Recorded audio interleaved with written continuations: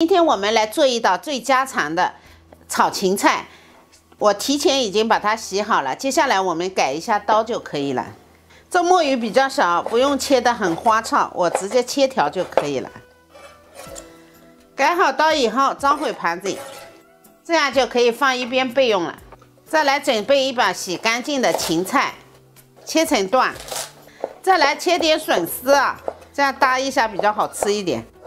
再来准备点辅料，姜切丝，葱切成小段，小米辣切成斜刀。接下来我们就可以开始直接做了。锅烧热，我们加油，爆香姜和葱，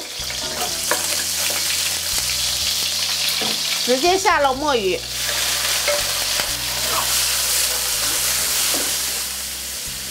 加点料酒。稍微加一点点清水，焖一下，盖上盖子煮三分钟。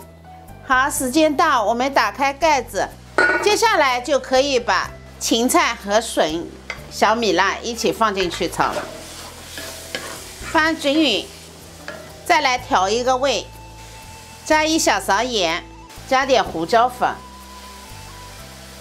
再来加一点白糖。盖盖子，让它煮个一到两分钟就可以了。墨鱼时间不宜过长，过长了就太老了。出锅前我们再淋点明油，这样就可以关火出锅了。稍微带一点点汤。